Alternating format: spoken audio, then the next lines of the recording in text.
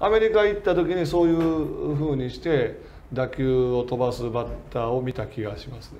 あれって打ってどうかなっていうやつが行くっていう。松井さんみたいな人がってみたいな感じで？そうですね。そのスイング軌道とスイングスピードから想像つく打球じゃないってことですね。おうおう。それはメジャーでその選手誰？